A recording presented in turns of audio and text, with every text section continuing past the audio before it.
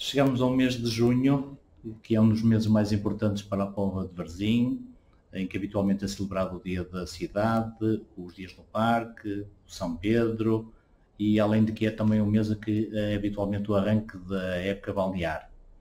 Eh, no entanto, tudo este ano é diferente, devido à, à pandemia da Covid.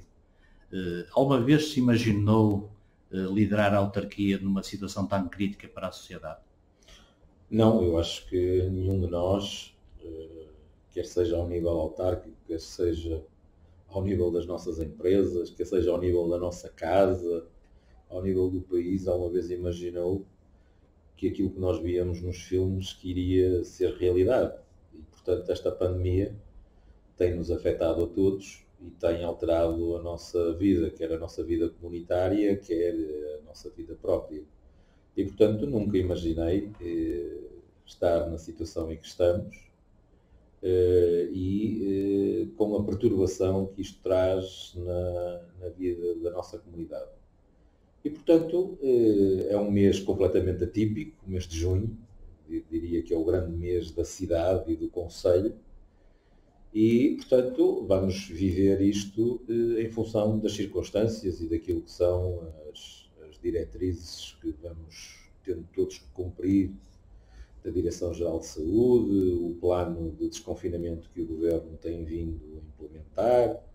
E, portanto, o mês de junho, eh, como disse bem, eh, era sempre o início ou o lançamento da época mais importante que se vive na nossa cidade, que tem uma importância também enorme do seu ponto de vista económico, eh, do seu ponto de vista da, da, daquilo que a cidade tem para apresentar. E, portanto, vamos viver isto de forma mais contida, mas não deixaremos de eh, viver com a tranquilidade e com a responsabilidade que nos é exigida os momentos marcantes. E, portanto, se não pode haver festa, haverá sempre forma de nos encontrarmos eh, e haverá sempre forma de vivermos a nossa vida comunitária. Eh, a autarquia não foi de modo algum também surpreendido com esta pandemia, ou seja, as primeiras notícias até começaram cá com a, a questão do, dos é, escritas o, do Luís Póvoda. O dia 29 de fevereiro ficará marcado para sempre eh, na minha atividade como o dia 1 de todo este processo. Foi no dia 29 que tivemos notícia que o escritor Luís Póvoda, que tinha estado na semana anterior nas correntes de escrita e que tinha deixado a prova de Varzim eh, no sábado, que uh, estava uh, e tinha dado como positivo. Portanto, foi a primeira vez que nós ouvimos falar de um positivo de alguém que tinha estado próximo. E isto também não deixou de ser uma oportunidade, porque nós, a partir desse momento, começámos a ouvir falar de confinamento, começámos a ouvir falar de isolamento, começámos a tomar medidas para fechar alguns espaços, ou seja, deu-nos aqui praticamente duas semanas relativamente ao, ao, confinamento depois o Governo acabou por determinar já a meio do mês de março. Isto vem também na sequência do todo este processo, uh, foi elogiado agora por todos os partidos na última Assembleia Municipal. Uh, isto tem um significado para si e para o partido que lidera a Câmara Municipal, que o que atuou, o que decidiu foi na, na consciência que era o, bom para os poveiros? As nossas decisões são sempre avaliadas e no caso dos autarcas são avaliadas na hora seguinte ou no minuto seguinte. Eu tive o cuidado durante este processo de não decidir as coisas sozinho e, portanto, eh, reunimos com os líderes parlamentares da Assembleia, com a representação de todos os partidos, eh, duas vezes, em que fui dando conhecimento das medidas, medidas eh, que foram reconhecidas por toda a gente como medidas acertadas e, e, na hora certa, e depois isto acompanhado dos resultados que íamos obtendo, eh, foi na realidade eh, algo que me deu confiança para continuar e eh, que os partidos, eh, portanto, foram se pronunciando, alguns foram trazendo também algumas medidas que nós acolhemos e, portanto, tínhamos todos que fazer um trabalho em conjunto e, e nesse sentido, eh, acabou por ser mais fácil eh, e também eh, bem recebido por parte das pessoas. Não tivemos agitação social, as pessoas foram entendendo as medidas, havia aqui questões que nos preocupavam muito, que eram as do apoio às pessoas que, de um momento para o outro, muitas delas tinham ficado sem, sem rendimento, sem com isto eh, pôr em causa a sustentabilidade do município ou tomar medidas eh, que, por serem muito transversais, acabam muitas vezes por serem injustas, que são aquelas medidas em que se trata tudo da mesma maneira, quando não estamos todos eh, na mesma situação socioeconómica. E, portanto, fomos acompanhando o processo. A doutora Andrea, enquanto responsável pela área social, montou uma equipa que trabalhava 24 horas sobre 24 para dar resposta a todas as solicitações. Montamos a cantina social e, portanto, com um serviço de takeaway para fazer chegar as refeições à casa das pessoas, para evitar que elas saíssem.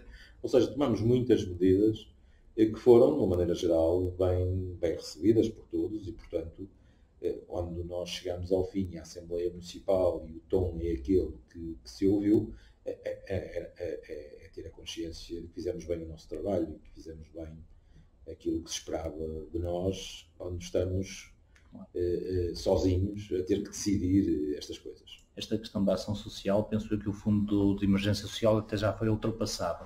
Uh, está preparado uh, economicamente a Câmara para responder ao que vem agora a seguir, que ainda dizem que a pandemia estar, será económica, está muito afetada? Eu eh, elegi um, um slogan no início desta campanha. O que importa são as pessoas, eh, tudo o resto é secundário.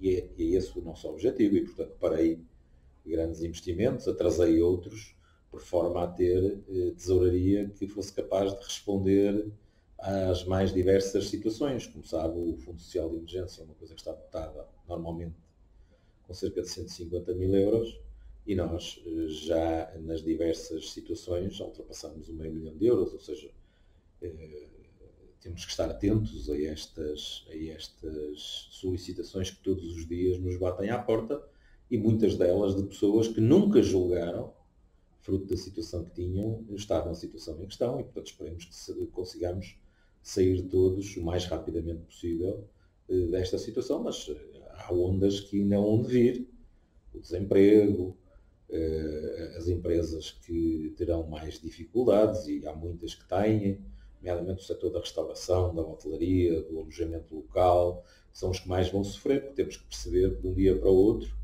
o país recebia praticamente 37 milhões de pessoas, turistas que vinham até o país, e de um momento para o outro ficamos sem essas pessoas e nós estamos aqui na proximidade da área metropolitana do Porto, que está a sofrer muitíssimo com esta situação. Uh, se for necessário, a autarquia poderá recorrer a algum empréstimo para acolher uh, à questão do sistema social? A autarquia tem uma excelente situação financeira e, portanto, se tivesse essa necessidade, podia recorrer a um empréstimo para isso, mas não julgo que seja necessário. Uhum. Muito bem. Uh, falando outra vez do mês de junho, era um, dia, era um mês importante para as associações porque conseguiam muito dinheiro nos dias do N Park. Uh, como é que vai ser agora a ajuda que a Câmara poderá dar às associações, já que não vão conseguir esses fundos financeiros? Olha, as associações também estão, muitas delas, com a sua vida suspensa, nomeadamente as, as desportivas e as culturais. Porque não há eventos, portanto também não há despesa associada. De qualquer forma, nós estamos atentos não é só os dias no parque, o próprio São Pedro também tem impacto na, na vida económica das associações. O Polo ao ar livre, onde muitas associações ao longo do verão, eh, eh, fruto do seu trabalho, tinham também ali um acréscimo de rendimento. Portanto, estaremos naturalmente atentos. Eu há dias pedi até às associações que nos fizessem chegar aquilo que são as suas despesas mais emergentes, para poder tomar uma decisão de as ajudar. Por exemplo, as associações desportivas foram suspensos os subsídios em 50%, a todos. Uh, temos uma situação excepcional, que é a situação da Varzim Lazer, que está parada e que, portanto, todos os meses uh, tem despesa e não tem receita, e, portanto, a Câmara tem que assegurar. Temos 44 pessoas a trabalhar na, na Varzim Lazer e têm que ter os seus, os seus vencimentos em, em dias, portanto, é uma despesa significativa e que a Câmara tem que continuar a suportar. Nenhum dos funcionários da Varzim Lazer foi para layoff, portanto a Câmara assumiu essa responsabilidade uh, e, portanto, temos que todos nos inserirmos neste processo, mas a Câmara, nós não podemos chegar ao fim deste processo e não ter associações, e não ter vida cultural, e não ter vida associativa. Agora, uh, todos temos que fazer aqui um esforço também de contração de, de despesa.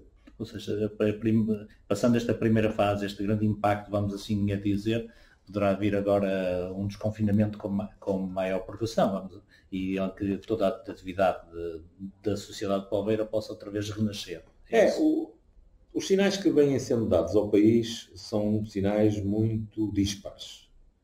Parece que não estamos todos na mesma situação e eu acho que não estamos. Ou seja, o Governo, a própria Direção-Geral de Saúde, tem tido procedimentos diferentes consoante a geografia do, do país ou a política partidária do país. E eu acho que é preciso passar sinais que sejam sinais eh, e que nos permitam perceber o que é que vai acontecer.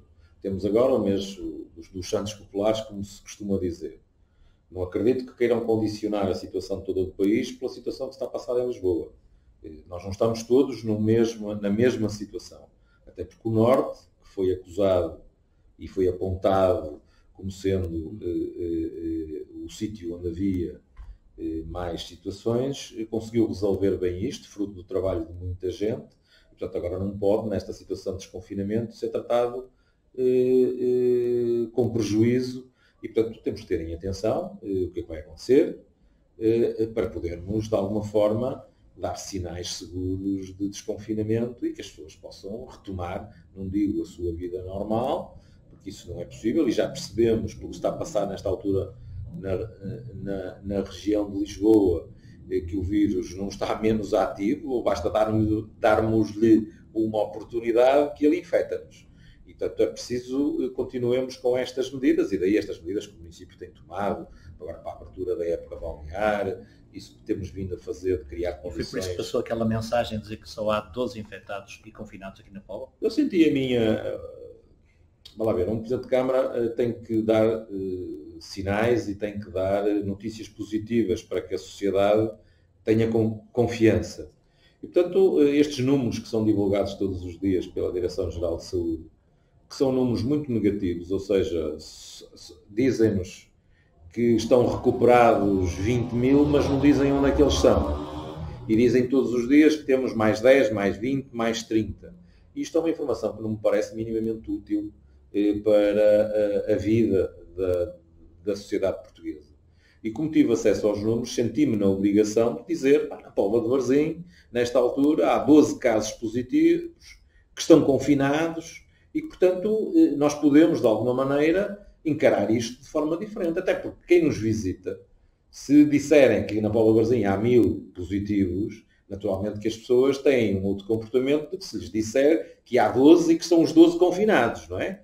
Portanto, é disto que estamos a falar e eu, enquanto Presidente da Câmara, sou o principal responsável pela vida da, da, do Conselho e tenho que, naturalmente, tendo esta informação, não posso guardar para mim, tenho que que é dar a conhecer, porque isto impacta nos negócios das pessoas, impacta na, na restauração, impacta na, na, na vida da, das lojas de rua, ou seja, são informações muito úteis eh, para que na hora das pessoas decidirem onde é que vão, eh, possam perceber que podem vir à Paula Barzim, que, que, tomando aquilo que são as medidas que hoje todos temos que tomar, de, de proteção individual, mas que o vírus não anda à solta, como se costuma dizer. Portanto, isso vai dar uma paz e tranquilidade para o verão que vai abrir no dia 27? A ideia naturalmente é essa, é que todos tínhamos conscientes da situação em que estamos e que temos que proteger esta situação, ou seja, não nos podemos expor, mas que é uma boa notícia para o verão que está aí à porta e para a nossa vida comunitária, para a vida dos poveiros. E apela ao bom senso nesta época balnear? Eu tenho feito isso, é? fiz um esforço grande para conseguir algum equilíbrio nas decisões que o Ministério do Ambiente e a Agência Portuguesa do Ambiente vieram a tomar. Acho que temos eh, condições para ter um verão tranquilo. Saibamos estar à altura das condições que nos estão a colocar, nós enquanto cidadãos individuais, não é? E portanto colaboremos, não nos exponhamos ou não nos coloquemos em situações de risco e, portanto, e, naturalmente passaremos um verão tranquilo todos, eh, com a oportunidade que resulta eh, de, também, do seu ponto de vista económico, que é importante para a vida da, da cidade. Este mês fica caracterizado com o São Pedro, não é? E, portanto, eh, o dia de São Pedro vai existir. Agora, o que é que vai ser possível fazer no, nas festas de São Pedro, na noitada de Eu São ainda Pedro? não sei o que é que vai ser possível. Nós no dia 18 temos mais medidas que irão ser anunciadas pelo Governo no que diz respeito ao desconfinamento. Eh, espero que tenhamos condições para poder comer uma sardinha e, e- e, portanto, evitar as grandes concentrações. Aqui acho que há uma preocupação acrescida com os jovens. Já vimos isto noutras, noutras geografias do país. E, portanto, vamos ter que dar sinais muito fortes no sentido das pessoas perceberem que não, não, vão, não vão poder acontecer grandes aglomerações, não vão poder acontecer aquelas festas de rua eh, que estávamos habituados, Principalmente na portanto, marginal. nomeadamente na marginal, aquelas grandes, eh, grandes concentrações de jovem com música e essas coisas, isso não vai poder acontecer e, portanto, eh, é, é para que todos possamos ter eh, o São Pedro possível, fruto das circunstâncias em que estamos. Acha que poderá ser eh, a noitada ou o dia de São Pedro eh, reviver aquelas memórias que a Pova já teve no São Pedro de há 30 ou 40 anos atrás, a recuperação das modinhas, a, mais caracterizado junto das famílias, isso será possível?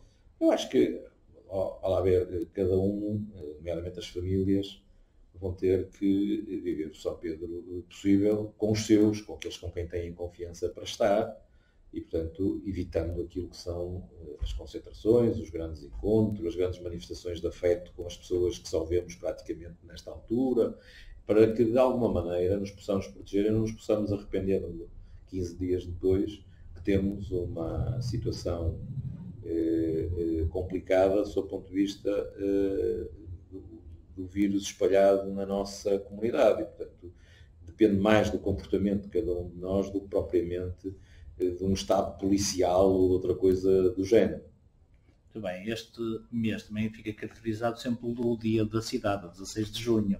Uh, já estava prometida a medalha ao Coronel Armando Ferreira, à Associação Capela Marta, portanto serão situações que certamente no próximo ano irá ter esse reconhecimento, não é? As medalhas de ouro têm uma vantagem, não ganham ferrugem. E, portanto, no próximo ano, eh, se a situação o permitir, esperemos que sim, eh, naturalmente que iremos eh, tomar essas, essas decisões. Este ano é o dia da cidade possível, não nos podemos encontrar. É o dia que fazia uma reflexão também do que é povo, não é? Um dia onde falávamos um bocadinho sobre o nosso futuro, sobre aquilo que são os investimentos que temos preparados, enfim, sobre a nossa vida comum, que este ano está um bocadinho suspensa. Eu próprio tenho alguma dificuldade em dizer-lhe qual é o orçamento que vou apresentar no final do ano, porque eh, as receitas do município são aquelas que provêm da nossa atividade e, portanto, todos temos, e ainda por cima não, não sabemos muito bem o que é que temos que continuar a afetar eh, à parte social, à ajuda que estamos a dar às pessoas, na renda, na eletricidade, no pagamento da água, na escola dos filhos, enfim, todas essas situações que têm vindo a ser acompanhadas por nós.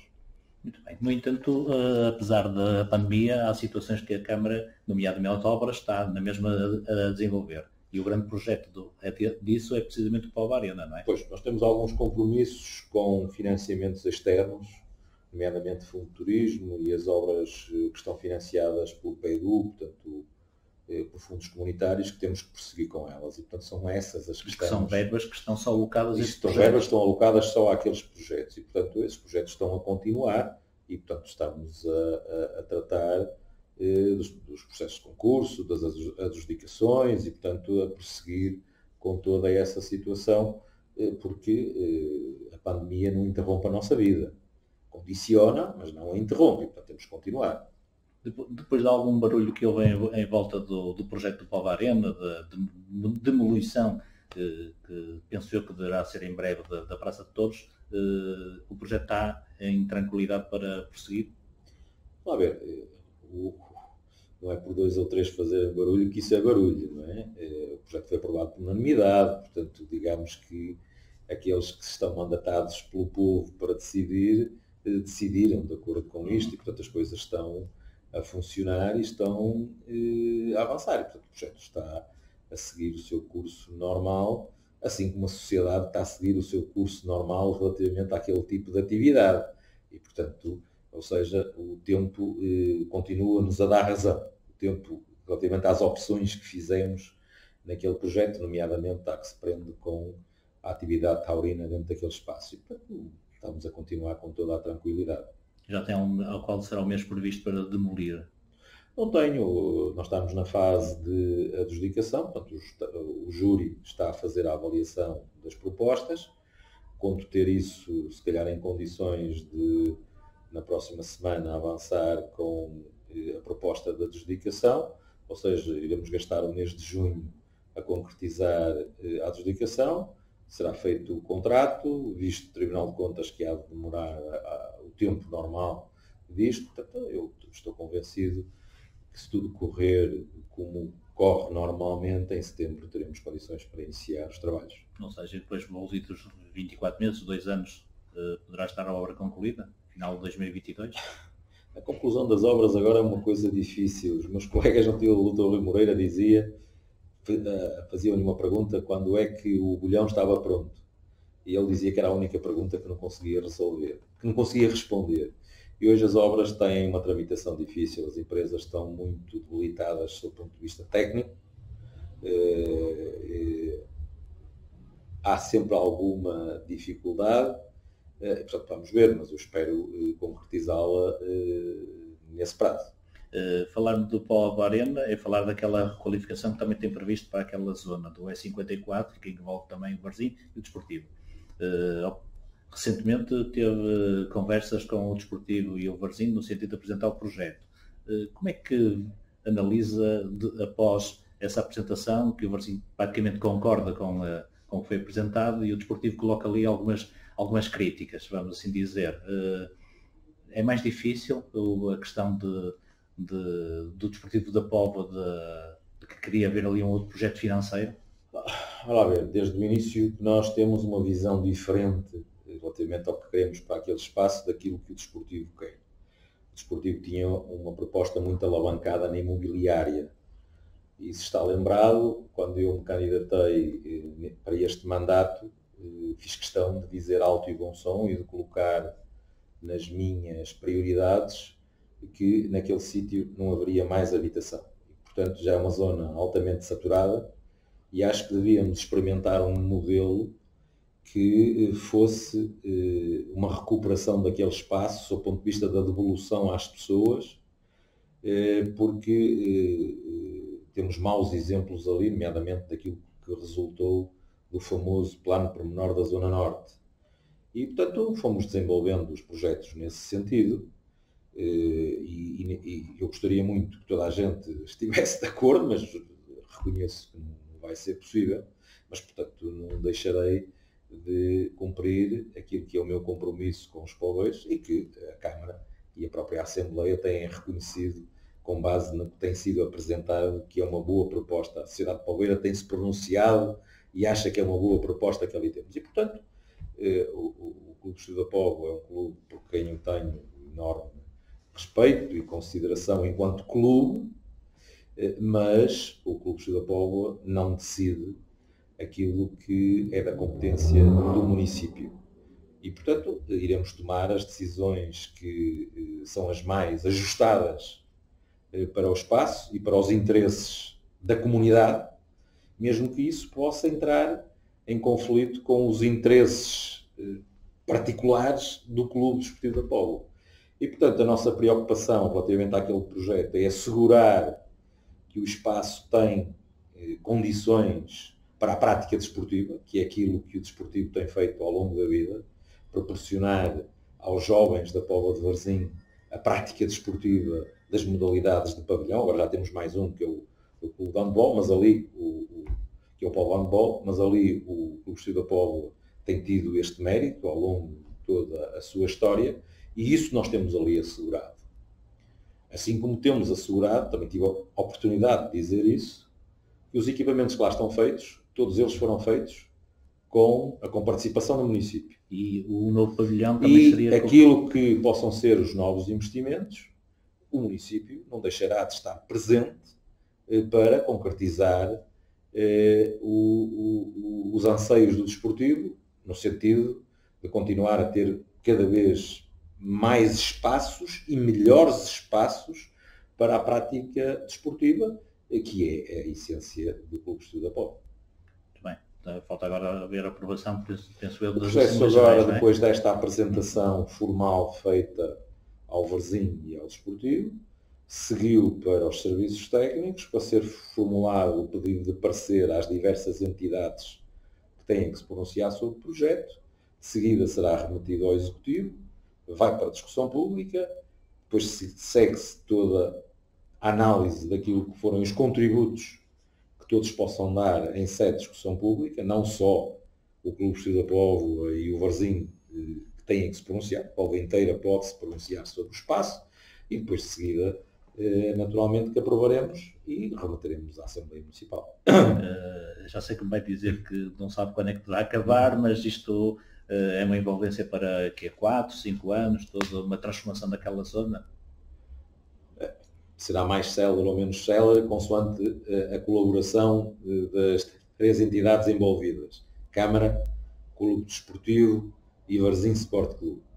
O, o, o, o Varzim, digamos que tem ali um comprometimento maior, até porque tem outras armas para utilizar, nomeadamente a venda do terreno do Parque da Cidade à Câmara Municipal e tem também o campo de treinos para negociar eh, para a execução daquele plano.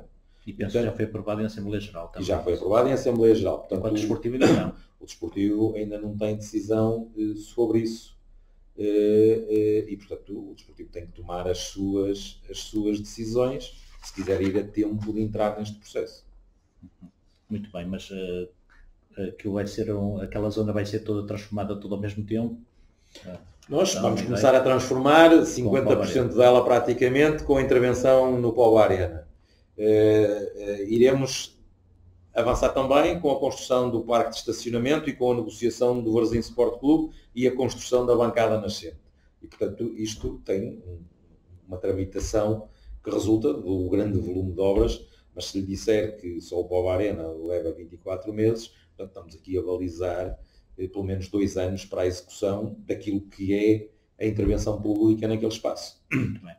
Uh, no, a Câmara também está envolvida noutros uh, processos de construção, nomeadamente as escolas, a Flávio Gonçalves, a Escola de Avermar, a Antiga Garagem Linhares. Uh, são três obras que conheceram ao longo destes seus processos sucessivos atrasos.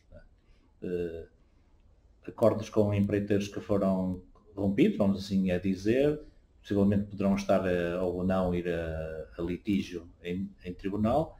Uh, aqui uh, a culpa é só de, de, de, das empresas de construção que não estavam apetrechadas para, para poderem eh, fazer estas obras? Olá, ver. Os projetos que nós submetemos a concurso são projetos que resultam da intervenção de muita gente. Arquitetos, engenheiros, especialistas, entidades exteriores ao município que fazem depois no fim a revisão do processo, e, portanto, são processos que são elaborados por muita gente. Infelizmente, estes três processos têm tido vicissitudes que é um bocadinho o espelho do que se passa no país.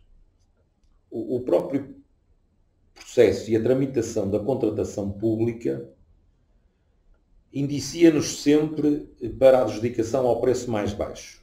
É muito difícil que nós possamos fazer uma adjudicação que não seja ao preço mais baixo. As empresas mergulham, é um termo que se utiliza muito no orçamento para poderem ganhar as obras. E depois tentam, durante a execução das obras, levantar questões que lhes possam dar vantagem sob o ponto de vista de trabalhos a mais, trabalhos não previstos. E hoje a contratação pública tem eh, balizas muito definidas relativamente a essa matéria. Mal correria se as fiscalizações do município não defendessem os interesses do município. Isso conflitua.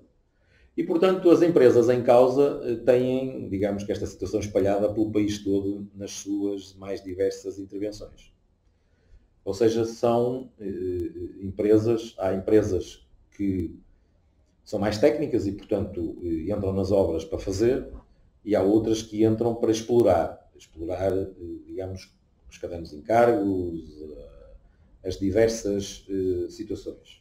E, portanto, aí as coisas não têm corrido bem. Nós, Câmara Municipal, achamos que defendemos o interesse público e, portanto, temos bons projetos e, nesse sentido, eh, eh, achamos que temos razão e, por isso, intervimos com aquilo que são os argumentos que a lei nos permite.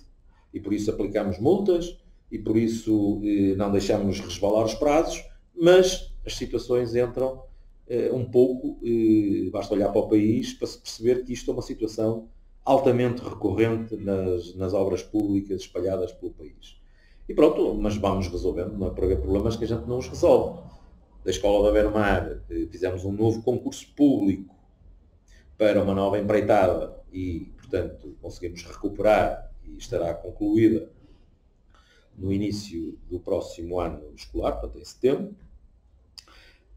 Linhares, tomamos posse administrativa e estamos agora a preparar o concurso para terminar a obra. E no caso da Flávio Gonçalves, passou-se a mesma coisa.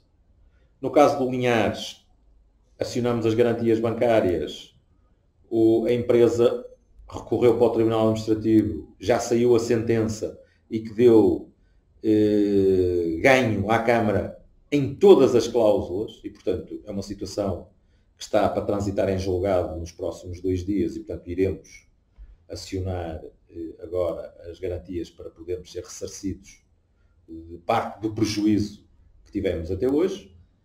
O processo da Flávio Gonçalves, que tem uma tramitação eh, com uns meses de diferença de linhares, há de ter o mesmo percurso. Depois é preciso perceber que o tempo das decisões dos tribunais nesta matéria não são o tempo que nós gostaríamos que fosse. E portanto temos que esperar. E às vezes a especulação que se faz da notícia, que se tenta pressionar, não é compatível com o tempo das decisões do tribunal. Mas nós somos pacientes. E, portanto, e, e, e, achamos que temos razão. E que estamos a defender o interesse público dessa forma. E, portanto, eh, eh, vamos continuando. Um dia destes, sou capaz de mostrar um filme que fizemos sobre a execução da escola Flávio Gonçalves para que as pessoas percebam até onde vão as empresas e achar que podem fazer aquilo daquela forma e que nós somos obrigados a pagar aquilo daquela forma. O contrário é que não seria admissível, que não estaríamos a defender os interesses do município. E, portanto, eh, eh, pode demorar mais tempo, mas não deixaremos de defender os interesses do município e os interesses das pessoas envolvidas, nomeadamente das escolas. Muito bem. Uh, obras públicas também, bairro da Matriz, uh, por aquilo que percebi nos últimos tempos, está a andar dentro da normalidade prevê mesmo que este ano possa uh, ser concluído Sim, até ao final do ano temos a obra concluída, setembro, outubro. É, são obras difíceis de fazer, porque são obras no miolo, onde moram as pessoas, não podemos entrar por ali dentro e partir tudo e as pessoas não terem acesso a casa. Ainda por cima são obras que exigem algum cuidado na execução, porque são calçadas, são granitos, são obras que estamos a intervir no centro histórico do, da, da nossa cidade, daquilo que é digamos, a, a, nossa joia que tem que ser preservada e, portanto, as obras estão a decorrer com a normalidade possível. Uh, o que está já executado está bem executado e, portanto, vamos continuando. Tal como há dias restituí às pessoas a rua Patrão Sérgio com uma magnífica obra e com muito boa qualidade e com a aprovação dos moradores, como se pôde ver naquele momento. Eh, já agora, ponto de situação de obras, Marina da Póvoa. A Marina está já na fase da cravação das estacas e, portanto, eh, eh, já lá está também o equipamento flutuante, portanto, uma obra que está a andar com a normalidade de uma obra de mar que tem sempre alguns condicionalismos e, portanto, está a caminhar. Estamos a concluir também, já houve a primeira conferência eh, para a tomada de posse dos terrenos da Via B, portanto nós temos ali praticamente 10 parcelas que não foi possível chegar a acordo, no meio de praticamente 60.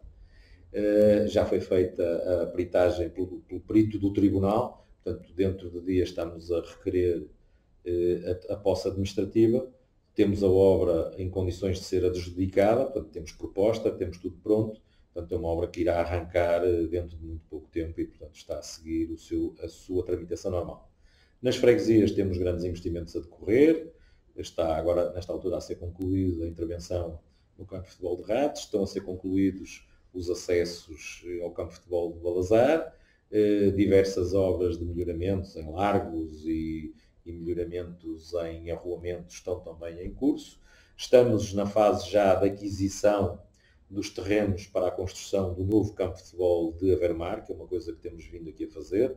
Eh, teremos eh, um investimento só em terrenos que ultrapassam um milhão e meio de euros. O projeto já está praticamente concluído, já está na fase das especialidades, portanto já temos solução fechada. Portanto, estamos a continuar com o nosso, o nosso trabalho eh, dentro daquilo que são. Portanto, a Vermar pode começar no próximo ano? Eu gostaria muito, até ao final deste ano, ter uh, as escrituras com os terrenos feitas, que está, que está a decorrer. Uh, o projeto estará concluído, portanto, lançar o concurso no início do próximo ano. sobre o tão falado nó da A7 em Balazar, houve mais alguma evolução depois daquela apresentação? Sim, depois daquela apresentação, há cerca de três semanas, tivemos uma reunião eh, agora que são todas por videoconferência com eh, a Ascendi, já é a solução, sob o ponto de vista económico é uma solução viável, pode ser executada, eh, falta agora fazermos a reunião final, eu, o Sr. Presidente da Câmara de Famalicão e a Ascendi, porque a proposta já está a ser encaminhada para as Estradas de Portugal, portanto há condições, basta que haja vontade política para a própria concessão eh, eh, assumir a execução desse, desse trabalho, ou seja, há espaço face ao investimento eh, que, que, está em causa e, nesse sentido, acho que é um assunto que definitivamente vai ficar resolvido e vai ajudar muito também para a construção da nova basílica, ou no santuário Sim, em Balazar? É um dos aspectos que naturalmente ficará beneficiado com isso, mas eu acho que beneficia toda a região. A A7 tem um, um, um, erro de partida, que é a construção de dois nós que distam 600 metros um do outro, e depois andamos 20 km sem ter acesso à autoestrada. E, e, aqui estaremos a meio do percurso. E aquela região, aquela região quer do lado de Famalicão, de Fradelos e todas aquelas freguesias ali à volta, quer do nosso lado, eh, Rates, eh, Vila de Conde, ali Arcos, no, no, na fronteira, mesmo Barcelos, passam a ter um acesso fácil a meio da A7, com ligações a diversas autostradas, a A28, a A13, digamos que é um nó fundamental, até sob o ponto de vista do escoamento. É uma zona também muito industrial, há muita indústria naquela zona e, portanto, irá valorizar todo aquele vale eh, que eh, muito irá beneficiar com este, este nó. Eh, estamos a entrar precisamente na conversa da área económica, da área das empresas. Esta pandemia que estamos a atravessar eh, vai ser também um momento de voltar a repensar no tecido económico aqui da Povo. Eu sei que já havia projetos anteriores, mas de qualquer maneira esse reforço vai acentuar-se. Como sabe, eu tenho tido cuidado ao longo deste meu mandato de periodicamente reunir com os mais diversos empresários, ouvi-los e ver de alguma maneira eh, onde a política local pode ser facilitadora e pode criar condições para o investimento e para a melhoria dos negócios das nossas empresas. Infelizmente, este período eh, que vivemos condiciona-nos essa auscultação que teria a ideia de, no final deste ano, outubro, novembro, voltar a fazer o terceiro congresso empresarial e desta forma juntar outra vez toda a gente e discutirmos isto para os próximos dois anos. Eh, já percebemos que não vai ser possível fazer esse, esse evento. Eh, eh, esperemos agora que o verão dê aqui algum alento para depois, pelo menos em setembro, reunirmos e voltarmos a fazer o ponto da situação. Se não for fisicamente, devemos de encontrar uma plataforma para podermos falar e poder auscultar aquilo que são, enfim, os anseios, aquilo que foram as dificuldades que esta situação trouxe aos nossos empresários e que, de alguma forma, o município se possa situar para ajudar. Boas notícias, temos o que está a passar na zona industrial de Louros. Eh, há duas semanas assinamos os protocolos com os proprietários para a cedência dos terrenos para a construção do arruamento que irá permitir a segunda fase do parque industrial. Temos já em fase final de aprovação o grande projeto da Mercadona e outros estão a seguir-se para aquela zona. E, portanto, digamos que é uma zona que está muito efervescente. Esperemos que este período não faça atrasar estes investimentos, mas é toda uma nova oportunidade para a fixação de empresas ali naquele sítio e naquela área. E, portanto, digamos que nesse sentido estamos a ter muita procura, ou seja, eu tenho sido interlocutor de muita gente que procura terrenos naquela zona para intervir, uma vez que também a Polveira, como sabe, a fábrica conservas, está agora também num processo de expansão por força uh, da aquisição de parte do seu capital pela empresa espanhola, que é a maior empresa de, de enlatados espanhola e que já está a investir e já está a avançar uma terceira fase. Ou seja, eh, aí a esse nível as coisas estão a correr muito bem. De qualquer maneira, a Póvoa é um exemplo também a nível nacional, porque o seu tecido económico é micros e pequenas empresas. Eh, há uma incubadora, penso eu, que para ser aberta em breve aqui na Póvoa, é? Sim, nós na próxima central de caminhagem, estamos a concluir agora o que nós chamamos de centro intermodal, fizemos lá um novo centro empresarial e, portanto, iremos lá instalar também eh, condições para eh, desenvolvermos essa, essa área eh, tínhamos aquele espaço, foi todo recuperado e, portanto, logo que aquele, aquele, aquela obra fique concluída, coisa que ocorrerá muito brevemente, nos próximos dois meses, teremos a obra concluída e, portanto, iremos avançar com a instalação de um, de um centro uh, incubador de empresas. Dá ali para dezenas de empresas, mais ou menos quanto? Aquilo tem muito boas condições para a fixação de empresas, tem espaços comuns de reuniões, eh, portanto, eh, aquilo nós estaremos a falar de capacidade para mais de 20 empresas instaladas ali. E, portanto, essas empresas depois, através de um concurso público, podem aceder a... Nós o que, neste centro que tínhamos aqui na, na, junto à Câmara Municipal, eh, tínhamos um protocolo com a ANGE e, portanto, fomos sempre instalando lá as empresas eu sou mais disponível para, nesse aspecto para a apresentação de candidaturas das pessoas e, portanto, porque a figura do concurso para este tipo de situações é sempre um bocadinho esse, complicado. Esse primeiro aspecto facilita mais? Facilita muito mais a instalação, é mais... Se as empresas estão a iniciar, se as vamos obrigar a um concurso público em que exige um conjunto de tramitação, se calhar eh, só nos irão aparecer aquelas que não precisam. E, portanto, a ideia é eh, eh, induzir e é criar condições para que iniciem a atividade. Muito bem. Uh, em termos políticos, uh, já anunciou que se vai candidatar às próximas eleições autárquicas em 2021. Eu é? ainda não anunciei. Já deu intenção disso? Eu uh, disse sobre isso que, se tudo corresse com normalidade, hum. que naturalmente iria encerrar a minha atividade pública e política com mais um mandato. Esta pandemia da Covid veio reforçar essa intenção? Nem reforçou, nem deixou de reforçar. Agora, uh, tenho consciência que uh, aquilo que é o reconhecimento do trabalho que fizemos cria naturalmente condições para isso. Portanto, sente-se mais, uh, é mais motivador também? É motivador até pela situação em que nos encontramos e que temos que passar por ela. E, portanto, digamos que eu reúno condições eh, que, de alguém que aqui está e conhece bem o município e, portanto, nesse sentido, não posso deixar de dar a minha colaboração. Na última Assembleia eh, Municipal eh, ouviu-se rasgados elogios, principalmente de um partido da oposição, que foi no caso o PS. Vai ser aquilo, a forma como está a construir Póvoa de Varzim, a sua liderança, o seu executivo, o espaço de manobra à oposição cada vez é menor?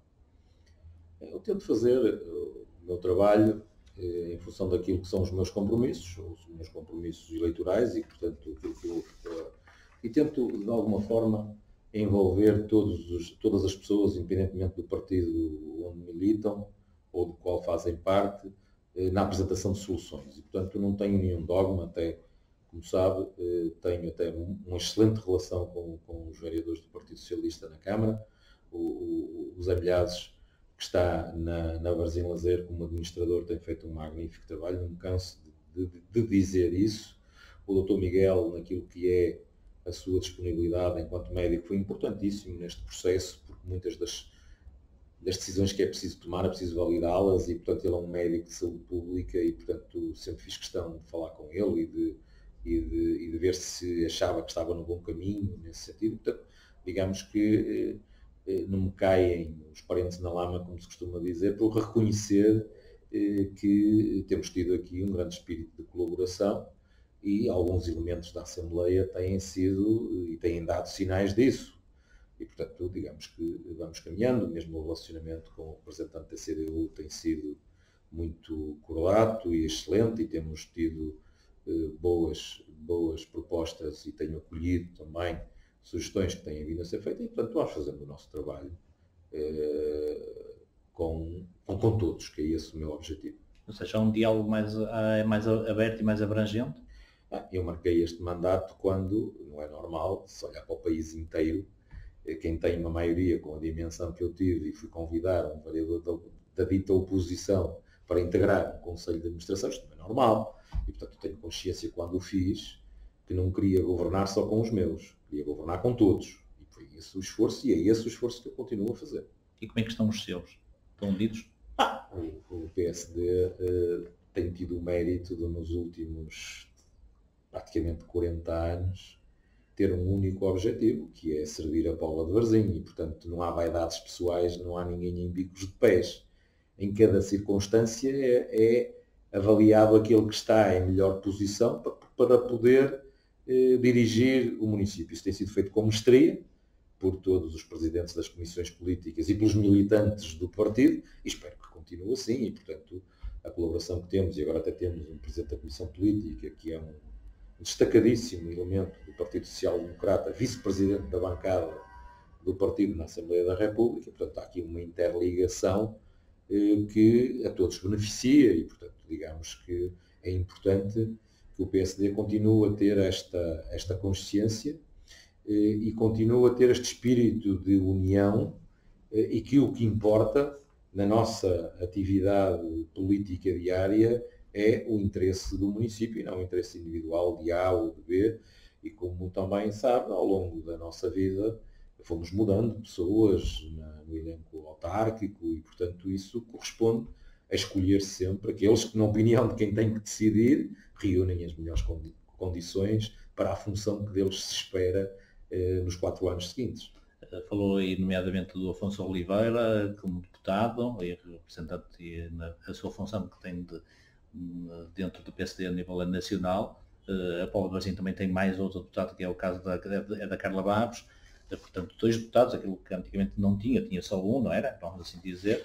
É, o doutor Rui Rio foi muito generoso com a Paula de Varzim e, e sabe da dificuldade que foi pública da elaboração das listas para a Assembleia da República e pela primeira vez na nossa história temos dois deputados e um deles, eh, o Afonso, que está na situação em que está, e a Carla vai fazendo o seu trabalho, mais na área do, do trabalho propriamente e da agricultura, ao qual tem, tem sempre ligado, e portanto eh, temos aqui dois deputados que vão eh, acolhendo aquilo que são as nossas, eh, os nossos pedidos, os, os, nossos esclarecimentos e que vão ajudando também as empresas da Póvoa de Varzim e as associações da Póvoa de Varzim dentro daquilo que é a magistratura de influência que cada um deles tem.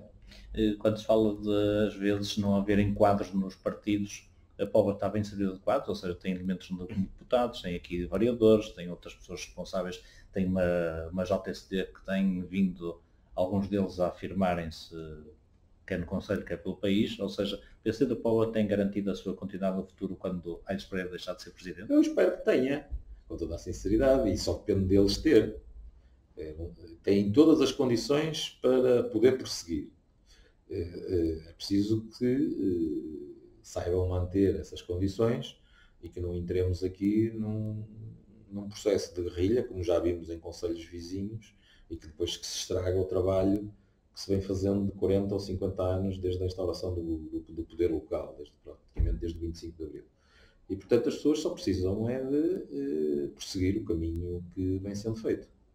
E até por respeito àqueles que tornaram isto possível, que são os, os velhinhos militantes do partido, muitos deles ainda estão aí, o Eger Coelho Castro, Alfredo Silva, o nosso militante Nuno Vasconcelos, ou seja, muita gente o Sr. Avelino do Monte, muita gente serviu este partido ao longo destes anos e, portanto, eu acho que nós, que estamos no ativo nesta altura, e os jovens que estão a aparecer, nunca podem esquecer a, a, a história do partido e devemos ter sempre um respeito muito grande por aqueles que criaram as condições para que nós estivéssemos aqui hoje.